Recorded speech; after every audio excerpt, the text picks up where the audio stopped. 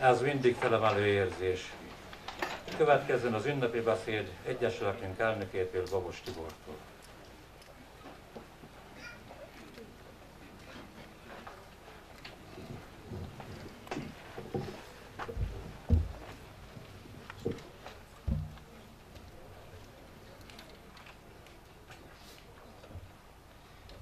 Kedves vendégeim, tisztelt horgászások, hölgyeim és uraim! Köszönöm, hogy rendezvényünk felkeltette figyelmüket, és megtiszteltek bennünket jelenlétükkel. Egyesületünk által épített halastó használatba vételének ünnepélyes átadásához jöttünk össze. Ahhoz, hogy mindenki számára érthető legyen, milyen módon váltak valóra elképzeléseink, az első gondolattól a megvalósulásig ismerni kell az előzményeket. Horgász Egyesületünk 1976 óta működik a Kisfaludi Kavics bányatavon. 2000-ig a tulajdonostól függetlenül a visszasználati jog a magyar államé volt. A visszasználati jog 2000-ben pályázati kiírásra került. Az EPM hivatalhoz benyújtottuk pályázatunkat, melyet el is nyertünk 15 évre. 2006-ban az adott terület eladásra került, 2007-ben a kavicsbány művelését az új tulajdonos a Trössögben Káveszté újraindította. Az érvényben levő bányászati törvényre hivatkozva a bányaművelé horgászati lehetőségünket korlátozta a vízterület keleti partjára. Jogszabályi változások a pályázat lejárta után nem adnak további lehetőséget a visszahasználatra egyesületünknek. Fennmaradásunk és jövőnk érdekében kerestük a lehetőséget a megoldásra. Személy szerint az akkori vezetőség. Szalai András elnök, Tímár Jenő alelnök, Babos Tibor titkár, Német István gazdasági felelős, Horváth Andrá Nagy Péter vezetőségi tag, Farázs László a felügyelő bizottság elnöke. Ekkor merült fel annak a gondolata, hogy milyen módon lehetne egy saját vízterülethez jutni. Hol lenne alkalmas terület, anyagi forrásokat hogyan tudjuk előteremteni, mik az engedélyezési eljárások következményei. Elképzelésünket a 2008 évi közgyűlés elé terjesztettük, melyet a tagság pozitívan fogadott és támogatott. Javaslat előterjesztése után közgyűlési határozat született arról, hogy éves költségvetési keretünk 30%-át tartalékoljuk a tervezett beruházásra. Felhatalmazást kaptunk az ügyel kapcsolatos felmérések érdekében. Időt, fáradtságot nem sajnálva jártak a hatóságokat, hivatalokat, ügyvédet, földmunkás cégeket ügyünk érdekében. Elképzelésünk megvalósításának alapvető feltétele olyan földterület, ami körülbelül két hektár vízterületet a horgászhelyekhez és a közlekedéshez kellő helyet biztosít. Könnyen elérhető és megközelíthető legyen. Elsőként az itató helybeliek ismerik itt a útmentén, ugye jövünk itt kifele, az a terület keltette fel figyelmünket. A 14 tulajdonosok közül többen nem mondtak vételi ajánlatunkra. Elképzelésünk megvalósításához a hajdani homokbágyi területét láttuk alkalmasnak. Terveinkhez egy számunkra kedvező bírósági döntés is hozzájárult. Horváth Sándor Péri haltalmerő egyesületünktől elcsalt egyévi haltelepítésre szánt pénzünk ügyében több mint egy évtizedes peres eljárás eredményhez zárult. 2008 tavaszán a Győri Bírósági Végrehajtó által kifizetett másfél millió forint újabb esélyt adott terveink megvalósításához. Ezt követően kerestük fel az Észak-Dunántúli Vízigazgatóság csornai szakaszmérnökségét, és tájékoztatást kértünk mi az útja egy horgásztó építésének. Kovács Mihály és Horváth Gábor mérnök urak tájékoztatójának meghallgatása után az érintett terület geodéziai térképei alapján megállapítás nyert, hogy külső vízforrás, azaz Kisrábáról leágazó öntözőcsatorna oda vezethető, amiből vízpótlást lehet nyerni szárazabb évszakokban. Valamint annak a kritériumnak is eleget tudtunk tenni, mely a jogszabály ír elő, nem kell művelés onnan kivonni a szántóföldet, a külső vízforrások feltölthető, illetve lecsapolható normál vízszintig. Ezeknek az információknak birtokában tele reményekkel, az eddigre és nagyobb lendülettel dolgoztunk ügyünk előre mentelén. Mindezek után megkerestük a fent említett terület tulajdonosait vételi ajánlatunkkal, akik írásos nyilatkozatot adtak eladási szándékokról. Újabb csornai látogatás ügyünk érdekében, melyen már részletes tájékoztatást kaptunk az ügy folyamatáról, költségeiről. Tudomásunkra jutott, hogy a feltámlített személyek jogosultak igényünk tervezésére. Árajánlatot kértünk a tervezési és engedélyezési eljárás költségeiről, melynek összege annak idén 1,3 millió forint volt. Több földmunkagépes céget hívtunk helyszíni szemlére, és kértük az elvégzendő munkára árajánlatot. 2008. szeptemberében rendkívüli közgyűlés hívtunk össze, hogy tájékoztatást adjunk arról, milyen feltételek és lehetőségek állnak rendelkezésünkre ügyünk érdekében. A vezetőség a következő tényeket közölte tagsággal.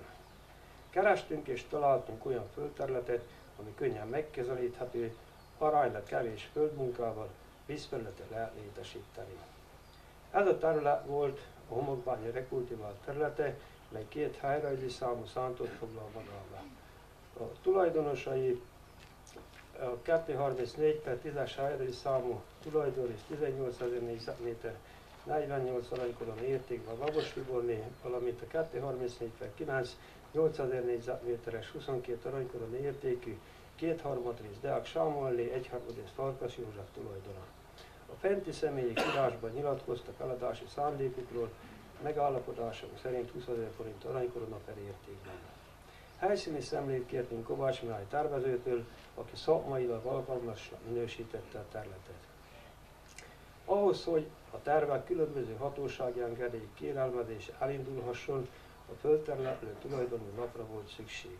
Mivel egyesületünk a jogszabályok értelmében nem vásárolható szántóföldet, így maradt az a lehetőség, hogy a tagjaink salály tulajdonként veszik meg a földterületet. Azt követően bérevadják egyesületünknek, általunk előterjesztett jogokkal és kötelezettségekkel. Javaslatainkat megmutattuk ügyvédnek, melyben nem talál kifogásolni valót.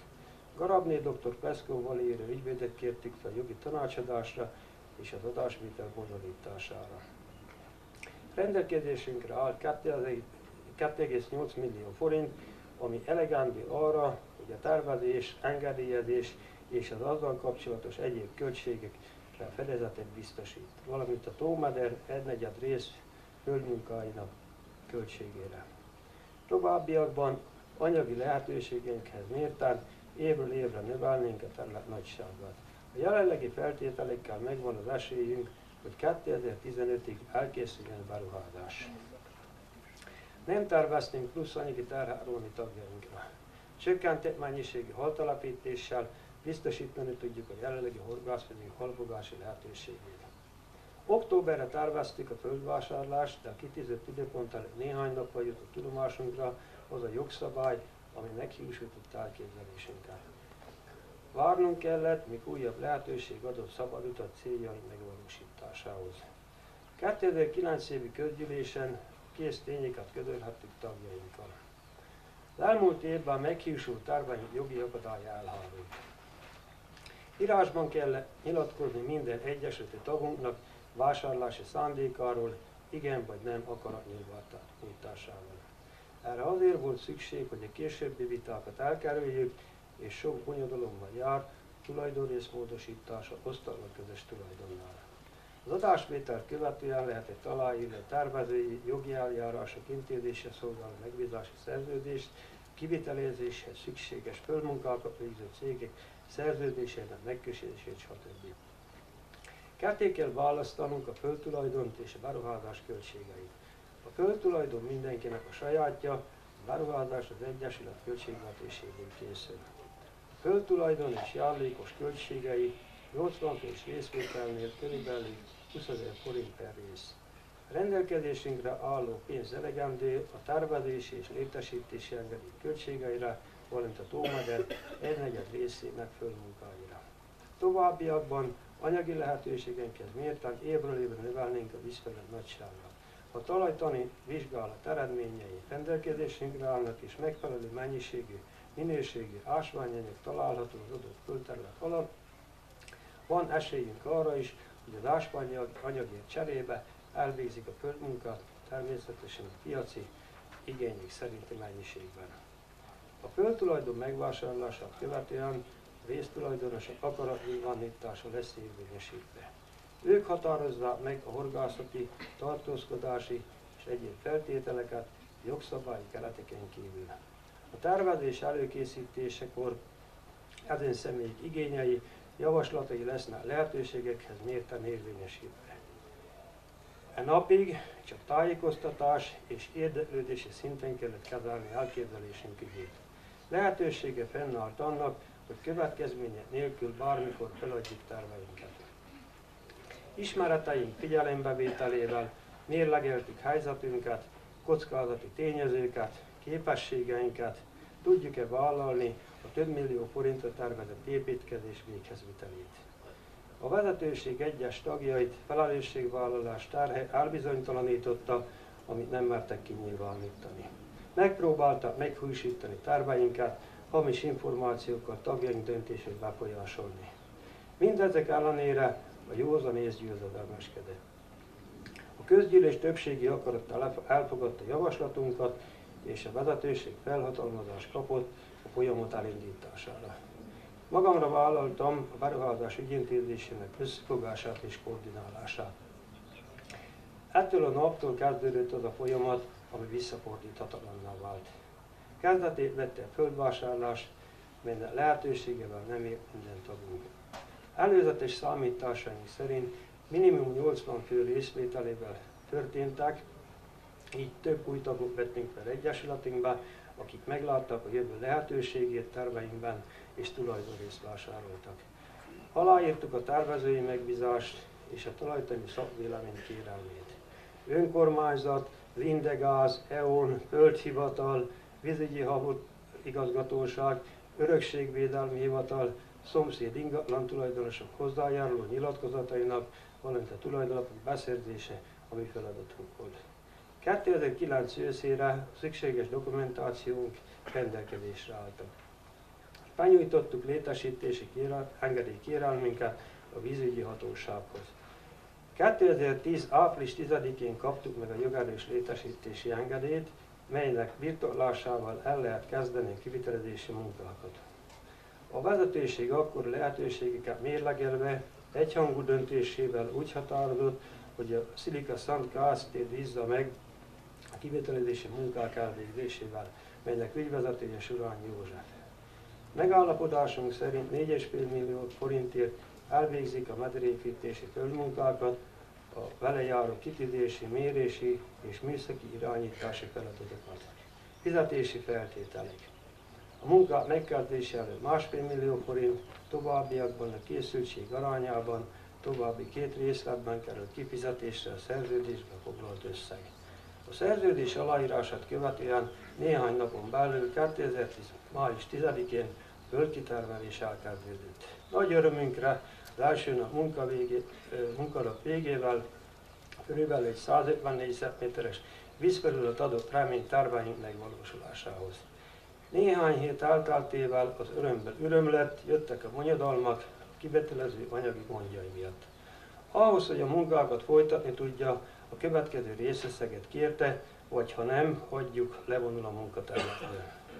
Átgondoltuk helyzetünket, és kifizettük a következő részt. Egy ideig lendületesen, majd akadozva növekedett a kitermelt terület nagysága.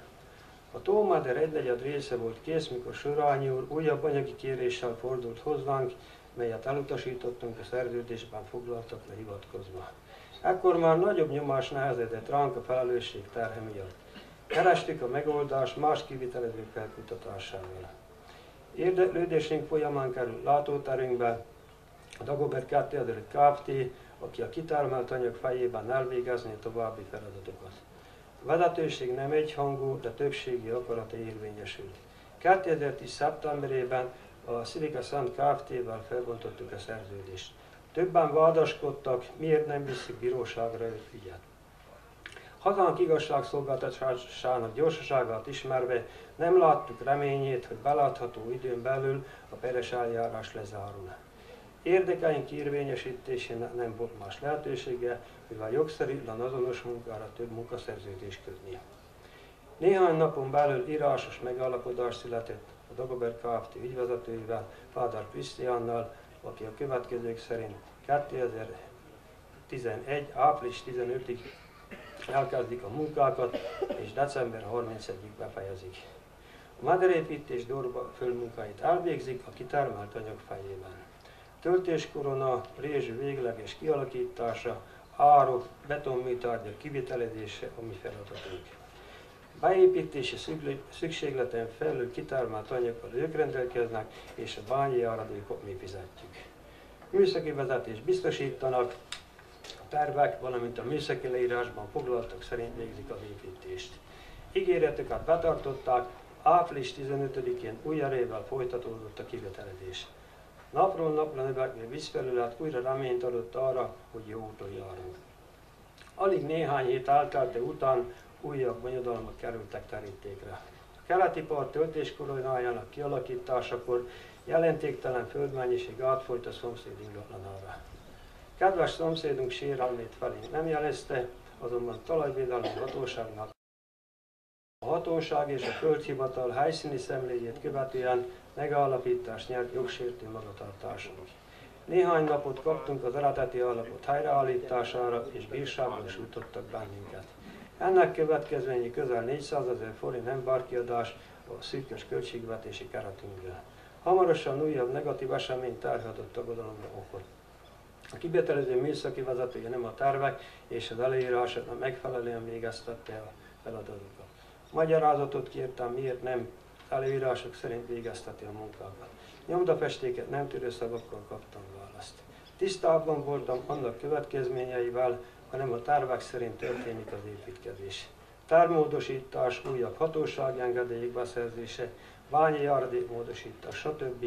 Bonyodalmas folyamatát megelőzve kellett döntést hozni. Ettől a naptól hatalmas nehezedett Naponta gyakran több alkalommal végeztem tervek és a műszaki dokumentációk előírásának megfelelő mérési munkákat a kivételezés folyamán. Hazánk és Európa 2010-es évek gazdasági válsága érzékenyen érintett bennünket. Augusztusban a kivetelező felfüggesztette tevékenységét, amit azzal indokolt, hogy az itt kitermelt anyagot nem tudják értékesíteni, amennyiben piacot találnak, folytatják a munkákat. Az előbb említettekkel párhuzamosan a ránk váró feladatokat Véres Tibor földmunkagépes vállalkozóval végeztük el. Időrendi sorrendben 2012. áprilisában a töltés és rézsű végleges kialakítása a keleti északi parton, 2013. májusában a vízvezető állap részleges tisztítása és a hiányzó rész megépítése. Többszöri határidőmódosítás, várakozás, tehetetlenség az idő múlásával egyre nagyobb nyomás súlya újabb mélypontra helyezte reményeinket. Jöttek a vádaskodások, rémhírek, az Egyesület vezetésségét okolták egyesek a történtekért. A beruházás folyamán a legnehezebb időszaknak mondható. A Tómader háromnegyed része már készen volt, de a szerződés köteléke miatt más nem volt lehetőségünk. 2013. októberében a Dagover 2000 Kft-től sorsfordító ajánlatot kaptunk. Amennyiben másfél millió forint üzemanyag költség hozzájárulással támogatni tudjuk a munkálatokat, abban az esetben 2013 végig be tudják fejezni mederépítés munkáit.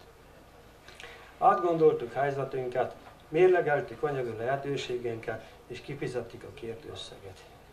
Az ígéret beteljesült, a megállapodás szerint a munkákat elvégezték, a munkaterület átadása, átvétele 2013 december 20-án megtörtént.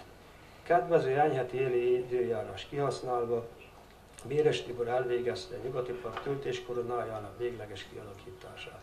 Márciusban a betoncsövek elhelyezése, zsilipakna építése, áprilisban fimagvetés, pacsameték ültetése, májusban mederkövelés. Horváth Gábor mérnök úr készítette el szükséges dokumentációkat, és 2014 május 21-én nyújtottuk be üzemélési engedély kérelmünket a vízügyi hatósághoz. Az állami igazgatási hivatalok átalakítása miatt már a megyei katasztrófavédelmi igazgatóság jóváhagyásába jutottunk 2014. október 20-án jogerős üzemélési engedélyhez. Ez év őszén 10 mázsa és 5 mázsa keszek telepítésével megalapoztuk a horgászat feltételeit. További terveinkben szerepel a környezet szépítése, parkosítás, pacsameték ültetése, horgászhelyek kialakítása. Egy közösségi épület létrehozása, ami helyet adna családi, baráti összejövetelek és rendezvények bonyolításához. Halastavunk építésének első gondolatától a megvalósulásig hat esztendő telt el. Ez idő alatt sok siker és kudarc határozott kitartást igényelt. Többször feltettem magamnak a kérdést, miért is vállaltam, vállaltuk ezt a feladatot. Válasz egyszerű. Egyesületünk gondjait senki nem fogja megoldani helyettünk, magunknak kell elárítani a előttünk lévő akadályokat. Elszántság, kötelességtudat, az ügy iránti erős hit minden akadályt legyőzött. Külső szemlélők azt gondolják, gazdagok a horgászok, hogy ekkora beruházást meg tudtak valósítani. Nem gazdagság, csak készszerű gazdálkodás, összefogás hozta az eredményt. Többségében önerőből néhány tízezer forintos önkormányzata és településénk vállalkozóinak rendezvényeinkre adott támogatása adott lehetőséget pénzforrásainkra. Vállalt feladatokat mindennémi anyagi ellenszolgatás nélkül láttuk el. A szokásos tag és egyéb díjakon felül senkinek nem kellett plusz anyagi hozzájárulást adni, támogatni a beruházást. Bizonyítékos szolgál esetünk, hogy a mai rohanó és gondtárhált világban rejlik még közösségi erő, amit fel lehet ébreszteni. Reményeink szerint ez a hely sok embernek ad lehetőséget arra, hogy megtalálja szórakozásának, pihenésének örömét. Ezzel a beruházással nem csak halastavat, hanem jövőt is építettünk. Ahol ma állunk, hajdan a Kispalut Kázmér dombja volt, ami már csak az idősebb korosztály emlék, embereinek emlékeiben él.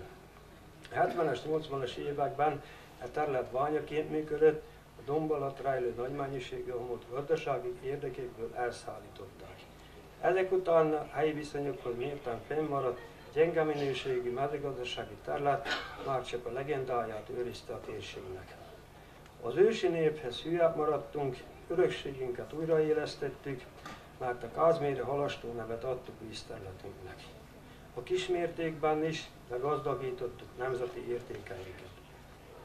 Lehetőséget biztosítottunk a természet szeretetére, horgászásra, pihenésre vágyó életközösségnek, és hozzájárultunk Kispolti község fejlődéséhez. Köszönetet mondott Nagy Árpádnak, Parázs Lászlónak, akik a beruházásunk első gondolatától a mai napig átlagon felül részt vállaltak az ügyel kapcsolatos feladatokból. Köszönet az Egyesület vezetősége, a tisztséget vállalt és vállaló tagjainak, minden egyesületi tagunknak és mindazoknak, akik valamilyen módon hozzájárultak elképzelésünk megvalósulásának érdekében. 2015. május 1 azaz a mai nap nem csak a munka ünnepe, hanem jövő, Egyesületünk jövőjének meghatározó napja is. Halastavunk töltse be funkcióját, tagjainknak jó egészségben, hosszú éveken át, élményekben gazdag, szabadidő eltéstésére és sor valfogásra adjon lehetőséget. Köszönöm megtisztelő figyelmüket, beszélőnek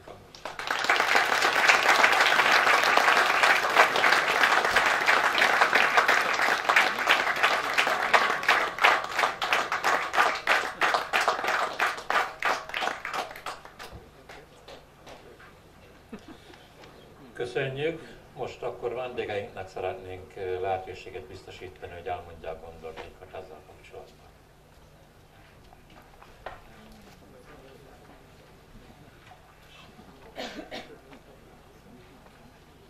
Tisztelt vendégeim, hölgyeim és uraim! Kispalut község alpolgármestereként nagy szeretettel köszöntöm mindazokat, akik megjelenésükkel kitüntették a Kisegeri Hordász Egyesület halastó átadó ünnepségét. Külön tisztelettel köszöntöm az önkormányzat nevében az Egyesület valamennyi tagját, meghívott vendégeket, és köszönöm, hogy önkormányzat része, részese lehet a jeles eseménynek. Tisztelt Hölgyeim és Uraim, kedves jelenlévők! Kiemelkedő jelentőségű községünk számára a mai rendezvény, hisz halastó, egy halastó reményekkel teli elképzelés jelent községvezetésünk számára is. Gazdagabbak lettünk egy olyan létesítménnyel, amely mindenki javát szolgálja településünkön és annak határain túl is. Nem szabad elfelejtkeznünk azokról, akik sokat tettek e beruházás megvalósításáért, Kisegeri Horgásztó Egyesület valamennyi tagjának fáradhatatlan munkájáról tanúskodik-e tó, mely településünk üde színfoltja lett. Hosszú utat jártak be az Egyesület tagjai, elkötelezett hordászaink, akik az engedélyeztetési eljárás útvesztőjében is célt értek. A megvalósulásig számtalan akadályt leküzdöttek, hogy mindannyiunk számára örömöt szolgálva szépítsék településünket, vonzóbbá tegyék a lakosság számára a horgászást, és fellendítsék kisfalu tulajdonságát. Köszönetemet fejezem ki a Kisegeri Horgász Egyesület minden tagjának, támogatóinknak, hogy meghozta bátor döntést a halastó mellett tette le voksát. Végül nem utolsó sorban köszönetet tartozunk mindenkinek, aki bármilyen segítséget nyújtott, aki vitelezésben véleményével segítette a munkát, segített a mai ünnepség megrendezésében.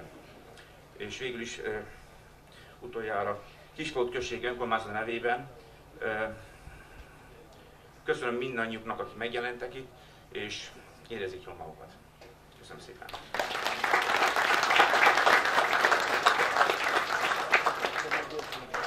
És Babos Tibor szól még pár szót. Néhány gondolattal még szeretnék szólni a jelenlévőkhöz.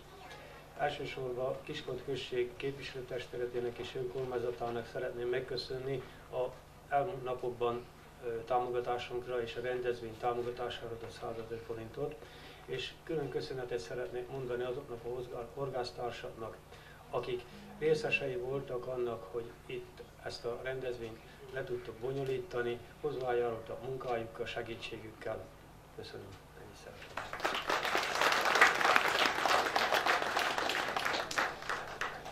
Várjuk a további hozzászólásokat. Láncse Gyulóra Móztól.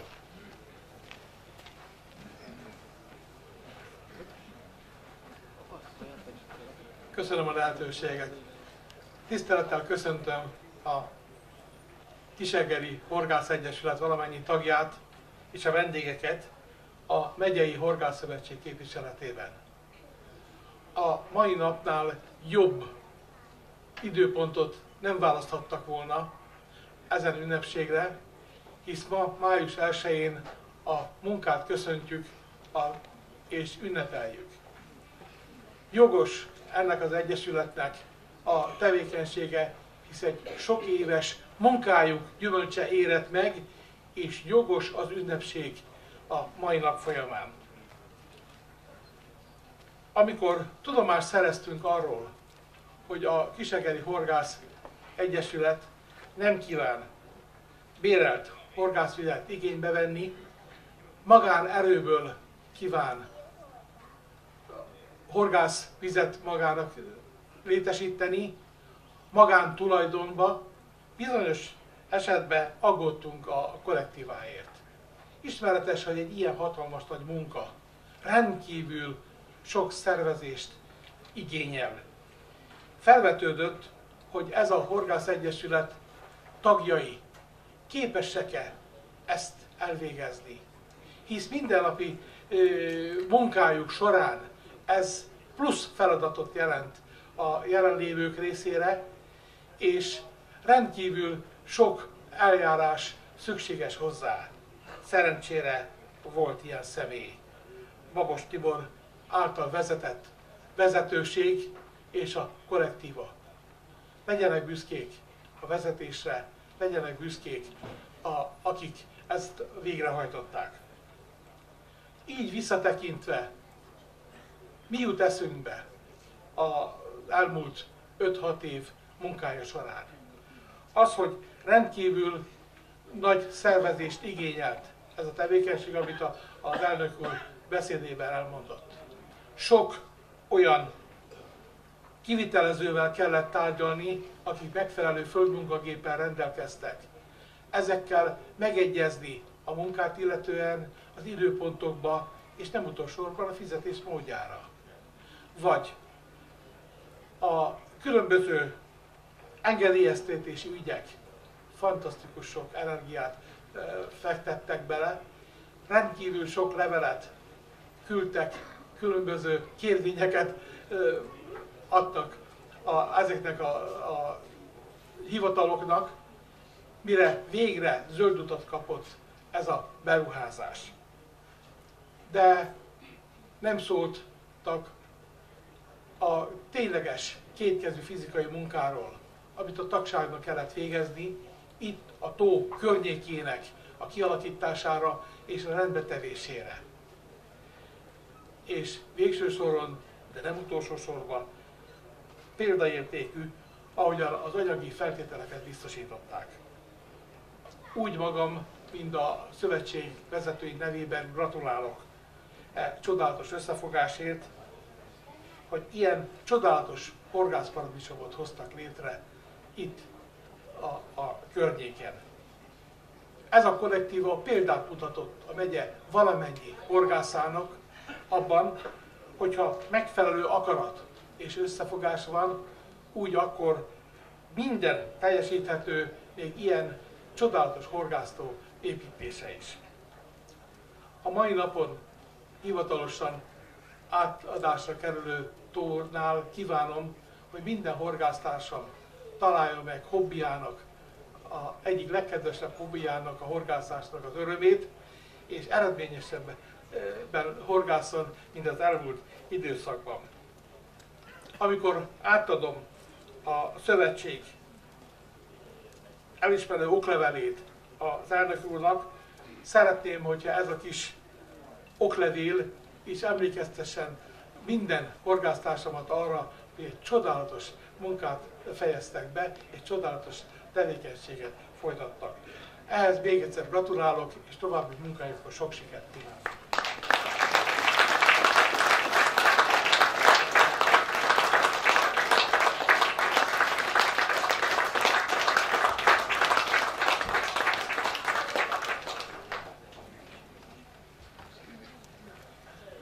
Köszönjük a, meg, a Láncsa úrnak ezeket a szavakat. Igazán jól esik az Egyesület vezetőségének, minden tagjának.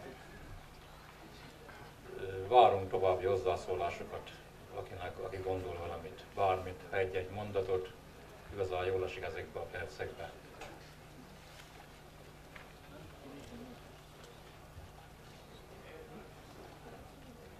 Jóska bácsi.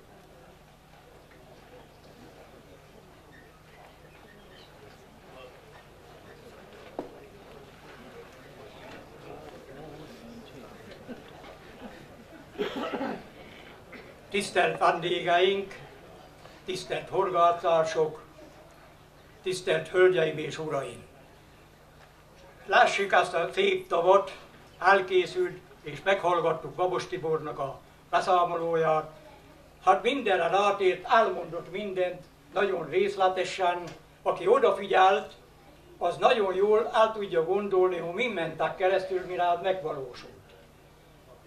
Kérem szépen, Sokszor összementünk, erről tárgyaltunk a tagokkal, és bizony nehéz esetekről számoltak be, nagyon sok rosszat, nagyon sok bántót kaptak, ami sértette sokszor a család érdekét is, de abba biztak, hogy az egység, a, a horgász egyesület tagságok a hátok mögött van, és támogatja őket.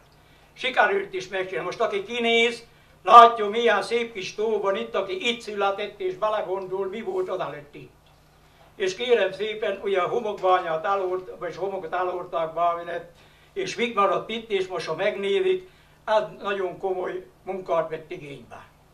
A Babos Tibori, mikor intézték a dolgokat, hivatalból hivatalba, hát bidon nagyon sok rögbe bukkantak, hogy majdnem, hogy elestek, már mindenféle göröngyöt alábbek tettek, hát a nehéz, nem akarok politikába menni, de a nehéz helyzetek is, amik mindig változtak, a bizonyos szabályok, ők átmentek rajta.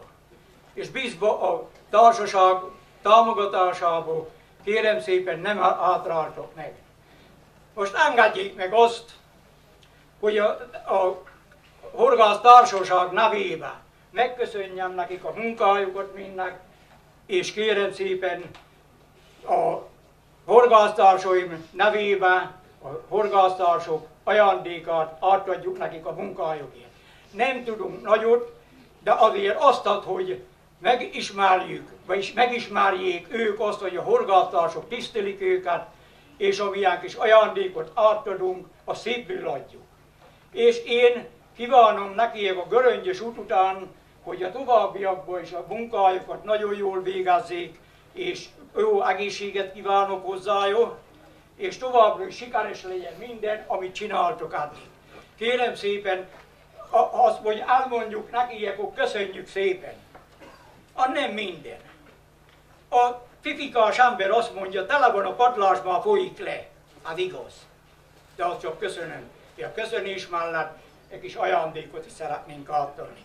És megkérem, akit, akinek a nevét mondom, az legyen szíves, majd fáradjon ide, és kérem szépen vegye át az ajándékot, amit adunk. Nagyon szépül adjuk itt, és szeretettel köszönjük a munkátokat.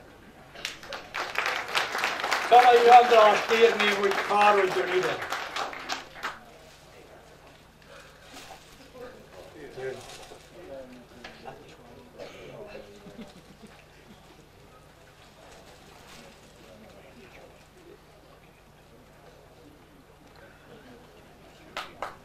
Köszönjük.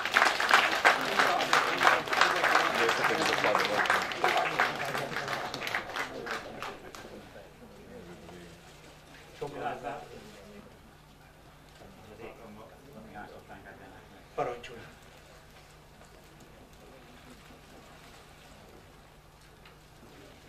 Én is meg, meg szeretném köszönni néhány embernek, nem is néhánynak, nagyon soknak, akik egy nagyon nehéz időszakon segítettek át bennünket, illetve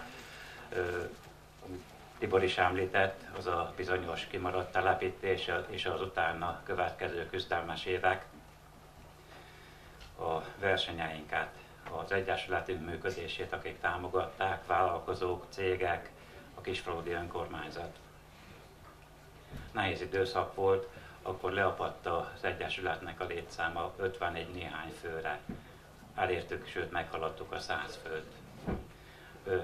Volt bátorságunk, volt erőnk belevágni ebbe a kezdeményezésbe, ami most megvalósult, és reméljük, hogy sokáig élvezhetjük ennek a gyümölcsét. Név szerint nem is tudnám elmondani azokat az embereket, cégeket, vállalkozásokat, akik támogattak bennünket, nem szeretnék senkit kihagyni, de még egyszer köszönöm. És még egy összehasonlítást, hogyha megengednének. A magyar horgásznak az egyik tavalyi számában, tavaly nyári volt.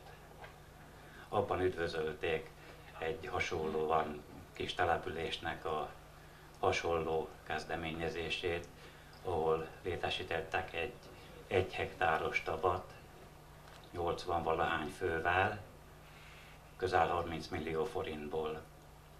Ebben pályázati pénz is volt, és az maga után vonta ugye a száldásos következményeket, a közbeszerzési eljárást, a közlenyúlást, a közgépet, a Simicska Lajost, is ragozzuk az ilyesmit, de hasonlítsuk össze, két hektár, három méter mély víz, többszöröse, és 9 millió forintból lett kihozva.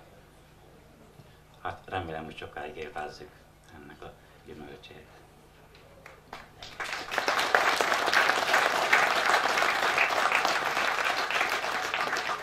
Köszönjük, most szólítanám Babos Tibor, legyen szíves.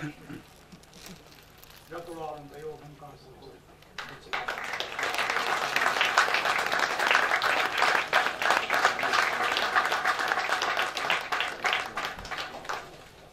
Szólítom Nagy Árpádot.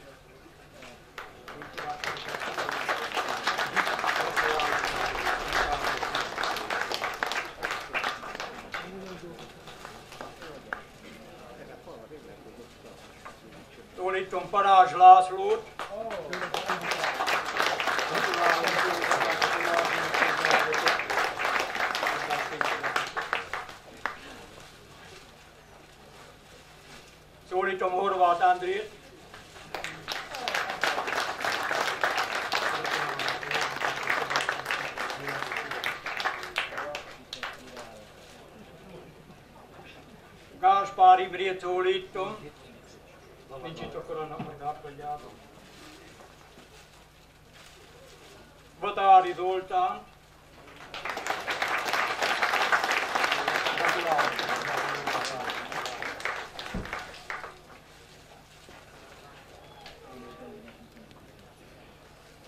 Attillát,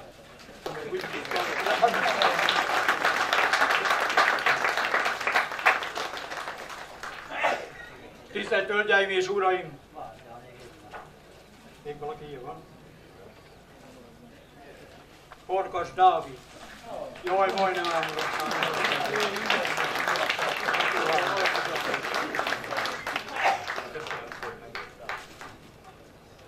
Tisztelt Hölgyeim és Uraim! Én megköszönöm itt a vezetőinknek a munkáját, de még azért egy pár szót hadd szólja máshol is. A Horgász Egyesület tagságának szeretném megköszönni ezt az összefogását, hogy lehetővé tették azt, hogy a vezetőinket megajándékozhatjuk. Nem kis munka volt. Én ebben szeretném megköszönni Kovács Tibornak és Horváth Lászlónak a munkáját, hogy összeszedték az adományokat, elmentünk, megvásároltuk a holmikat, és Kovács úr elment az autójával, kihozta a ajándékot, mindent megcsinált, és szeretném megköszönni családjuknak is, hogy türelemmel fogadták, hogy mentek a horgásztársak, és hát egy zavarást csináltok. Tehát ő is megköszönöm a türelmiket, ehhez nagyon szép volt. Mindenkinek megköszönöm, hogy meghallgattak, köszönöm, kívánok jó szórakozást, jó egészséget mindenkinek, és további sok sikert. Köszönöm szépen.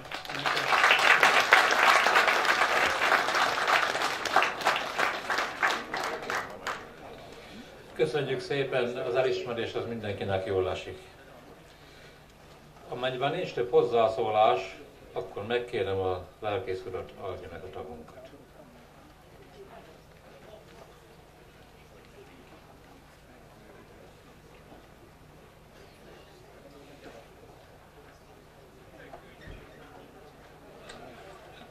Az Atya, Fiú, Szentlélek nevében. Amen. Kedves ünneplők, az, ami az emberi létnek az értelme, az, ami a kezünk munkájának a gyümölcse, az egyben az Istennek az áldása is. Ezért mindezeknek a használatba vételé, vételekor, mint az élet minden egyéb más fontos eseményénél, igével és imádsággal szenteljük meg a helyet. Hiszük, hogy a keresztény embernek az élettere, hogy az bárhol is van, Istennek a hajlékává, templomává válhat. Az előttünk álló vasárnapnak a Zsoltára, 98. Zsoltár első verse így hangzik, énekeljetek az Úrnak új éneket, mert csodákat tett.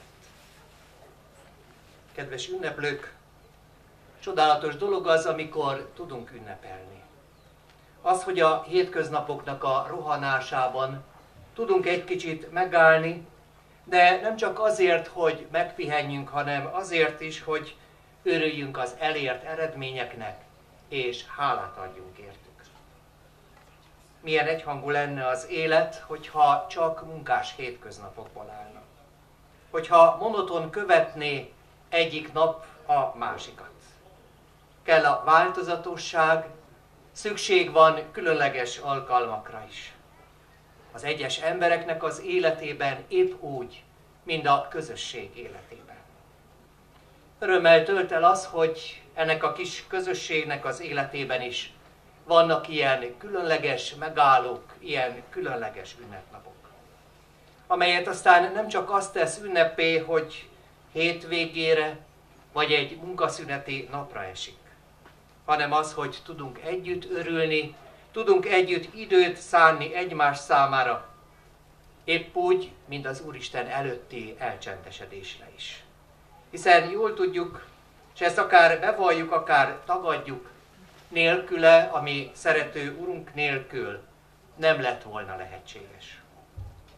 Mert régi bölcsesség, sokan ismerik, sokan mondják, hogy az ember tervez, de az Isten vége. Igen, mi nagyon sok mindent elképzelünk, nagyon sok mindent eltervezünk, de az emberi szándék önmagában még kevés. Szükségünk van az Úristenre, az ő segítségére, az ő szeretetére, az ő támaszára, azért, hogy az elképzeléseink, a terveink megvalósulhassanak. Talán ezért sem véletlen az, hogy én is itt állhatok, hogy én is szót kaphatok, hogy kérték, hogy itt az ünnepség keretén belül hangozzon el az áldásnak a szava is. Idősebbek visszaemlékeznek rá, hogy szüleink, nagyszüleink gyakran kezdtek egy-egy jelentősebb döntést, elhatározást ezzel a mondattal, ha Isten engedi. És kezdtek, kezdték azokkal a szavakkal a munkájukat, hogy az Isten nevében. Nem csak szólamként, nem csak megszokásként, hanem valós ráhagyatkozásként. Közösségben élünk minnyáján. Mindenkinek más és más a feladata, de a cél az ugyanaz. Hogyha valaki a saját környezetét csinosítja is, tulajdonképpen az egész közösség nyer általa. Akkor, hogyha valaki tisztességesen végzi a munkáját, annak örömében mindenki egyaránt részesedik. De hogyha valaki a közösségért tesz valamit, azzal is, másoknak is örömet szerez. Sok évvel ezelőtt már egy valami hasonló közösségi alkalmon elmondtam már, és talán érdemes újra és újra elmondani, hogy olvastam valahol, hogy egy indián benszülöttekből álló csoporttal el akarták végeztetni az IQ-tesztet.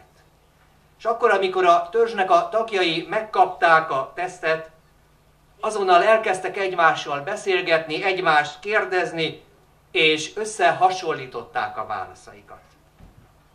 És az, aki ezt a teszt, teszt készítést felügyelte, ez gyorsan közbelépett és elkezdte magyarázni nekik, hogy ezt a tesztet mindenkinek egyedül, egyénileg kell elvégezniük. Hogy nem szabad egymásnak segíteniük, nem szabad továbbadni a válaszokat, mondta nekik. És akkor, amikor ezek az indiánok meghallották, dühösek lettek és megtagadták a teszt kitöltését. Mert ők így szóltak. Nem az a fontos, hogy én vagyok az okosabb, vagy a testvérem, hanem csak az számít, hogy együtt mire vagyunk képesek. Igen, együtt. Hiszen mai világunkban, amikor legtöbbször az önzés, amikor az egoizmus jellemzi a gondolatainkat, a gondolkodásunkat, érdemes odafigyelni erre. Együtt és vele. Együtt az embertársainkkal, de úgy, hogy közben odafordulunk Istenhez szüntelenül. Hiszen ez a mai nap, ez a mostani ünnep is erről szól. Együtt ön ünnepelni, közösen örülni az elért eredményeknek. Kell az ünnep a mindennapok rohanásában, hogy egy kicsit megállhassunk. Kell az ünnep, amikor még jobban odafigyelhetünk egymásra is. Amikor számba vehetjük az erőinket, amikor örülhetünk annak, hogy közösségben élünk. Ne engedjük azt, bármilyen is a világ, hogy közénk álljon. Ne engedjük azt, hogy az önzés megrontsa kapcsolatainkat. Vegyük észre azt, hogy mindenki ugyanúgy egyformán fontos. Mindenki nélkülözhetetlen része a közösségnek. Hiszen testvérek vagyunk Krisztusban, Krisztus által. Tanuljuk meg, hogy csak az számít, hogy együtt mire vagyunk képesek. Ez a tó, amelynek itt most a partján állunk, egy jelkép is. Hiszen a víz az életre emlékeztet. Nélküle nincsen élet. A víz kincs, pótolhatatlan kincs. És bizony, ahogyan halljuk napról napra, az egész világban az édesvíz egyre nagyobb értékkel bír. Vannak olyan országok, amelyek a föld mélyén levő olajkészleteik miatt gazdagodtak meg. De nekünk édesvíz készletünk van amely egyre nagyobb értékkel fog bírni. És itt a vízparton ezért is adhatunk hálát. az életet adó vízért, a vízben úszkáló kis életekért és az abból fakadó áldásért. A helyért, az, amely összehozhat közelieket és távoliakat, amelynek a partján békességet lelhet mindenki, aki megfáradt. Hogyha így tudunk élni, hogyha így tudunk ünnepelni, és tudunk így munkálkodni a hétköznapokban is, akkor nem csak egy pillanatnyi megállás ez, hanem Urunknak az áldása lesz rajtunk. És ő megadja mindazt, amire szükségünk van. Az egymás iránti szeretetet, a békességet, az egymásra való figyelés képességét, és lehetünk valóban egyek, ami Urunkban, Krisztus Jézusban. Ezért kérünk, Urunk, áld meg testvéreinket, amikor most használatba veszik ezt a tavat. Add, hogy a község közössége otthonaként fogadja ezt, hogy jól érezze itt magát. És add meg azt is, hogy érte épp úgy hálát és köszönetet tudjon mondani neked mindenki, mindenkor.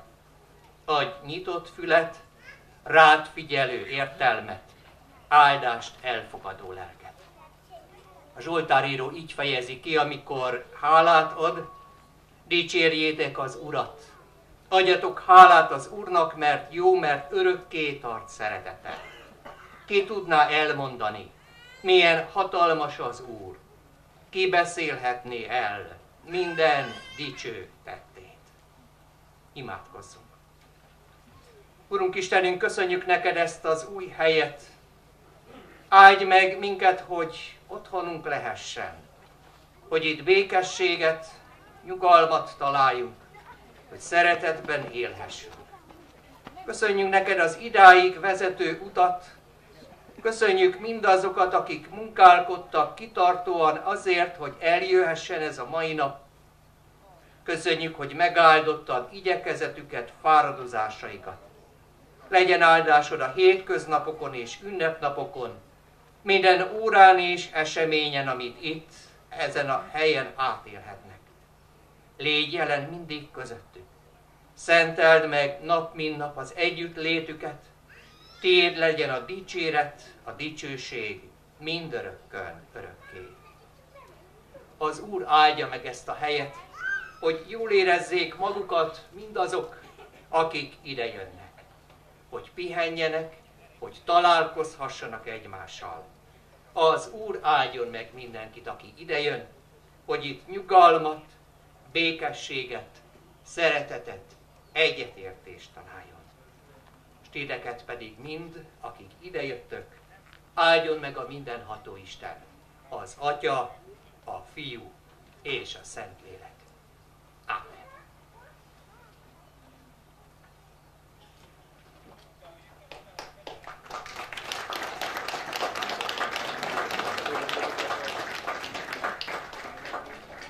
Köszönjük az áldást és ezeket az igazán szép gondolatokat.